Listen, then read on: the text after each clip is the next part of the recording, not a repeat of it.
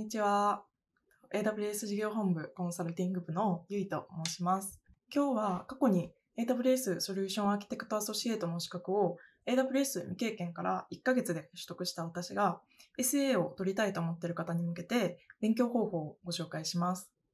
私は最近でもこの半年でプロとスペシャリティを含めて AWS 資格を8つ取ったりしていろいろ勉強方法を試したのでその経験も踏まえてお話ししたいと思います。では早速勉強方法についてご紹介していきたいと思います。試験を受けることを決めたら、まずは公式サイトで試験範囲を確認することがとても大事だと思います。SAA の場合はこちらのページで試験範囲の確認とサンプル問題をダウンロードすることもできます。サンプル問題を解いてみて、どんな問題が出るのか、どんなサービスが出るのかを押さえておくのもおすすめです。おすすめの勉強方法の一つ目は、動画を使って勉強する方法です。私の場合は、ユーデミーで販売されているこちらの動画を使って基本的なところから勉強しました。この動画のおすすめなところは、本当に AWS 初心者の人でも理解しやすく説明されているところと、ハンズオンのパートがあるので、手を動かして学べるところです。私はこちらの動画を一周見てハンズオンをやったりした後に理解が足りてないなって思ったところを何回も繰り返してみたりしました。おすすめの勉強方法の2つ目は本で勉強することです。で私の場合は動画だけだと不安があったので知識を定着させるためにこちらの本でも勉強しました。またこちらの本に掲載されている練習問題にも取り組みました。説明がとっても丁寧でわかりやすくてすごくおすすめの一冊です。私が SA を取る上ですごく大事だなと思ったのが、サービスそれぞれの機能をしっかりと把握することももちろんなんですけれども、AWS が推奨する設計をする上でのベストプラクティスを知って理解することがすごく大事だなと思いました。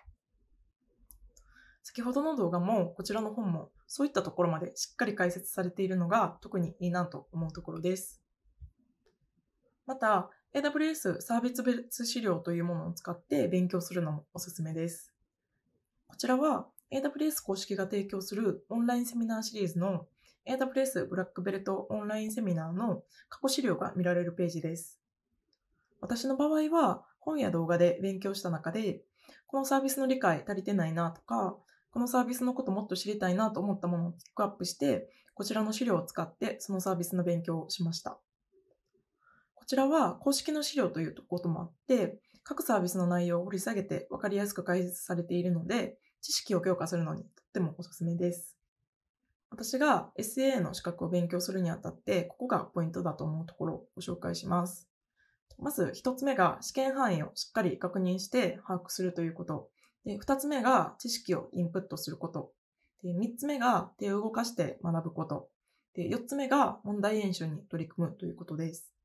で、3つ目の手を動かすというところなんですけど、手を動かすことで、あまり理解していないところとかが自分でしっかり把握できるところと、手を動かすことで実際に自分の経験になってより定着して自分の中に残すことができるのでおすすめです。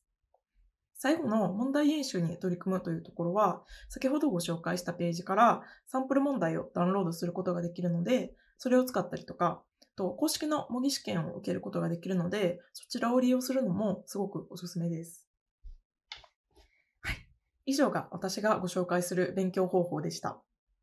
資格の勉強を通してより AWS に興味が湧いて技術に対してのモチベーションが上がったりとか自分の技術の幅が広がるきっかけにもなると思います。実際私は SAA を取ったことで AWS そのものに対する興味がすごく湧いて AWS もっと勉強したいなって思うようになりました。SAA は AWS の経験がなくても頑張り次第で取れる資格だと思います。これを見てモチベーションが上がったり、と頑張るぞっていう気持ちになっていただけたら嬉しいです。はい。今日の動画は以上になります。ありがとうございました。